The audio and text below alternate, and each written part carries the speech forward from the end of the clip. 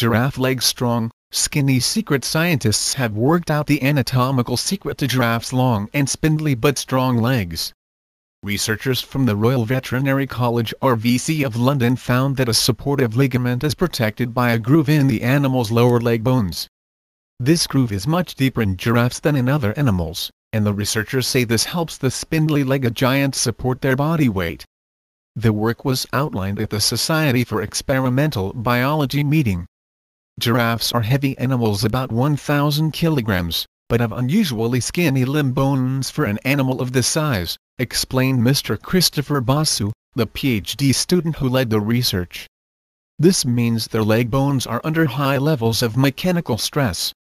I'm interested in how giraffe have evolved from their modestly proportioned ancestors to these bizarrely long-necked, long-legged animals that we see today, he told BBC News. This evolution has resulted in an animal with very long legs but relatively little muscle. It turns out, explained Prof. John Hutchinson from the RVC, that the suspensory ligament plays an important role. The team took its measurements from the legs of giraffes that had died in captivity, using a hydraulic press to apply forces to the legs to simulate body weight. This showed that the legs remained upright and stable with no additional support, even when the scientists applied load slightly greater than a giraffe's body weight. Their specialist anatomy, Mr. Basu explained, adds great stiffness to giraffe limbs.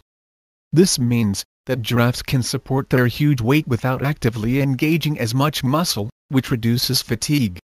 We're learning new things about giraffe anatomy, Mr. Basu told BBC News.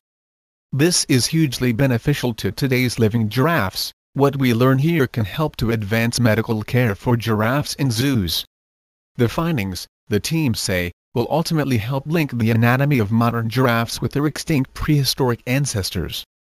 And robotics often draws inspiration from animal movement, said Mr. Basu. So studies of this long-legged long-necked animal could inspire such oddly proportioned robotic or even prosthetic designs.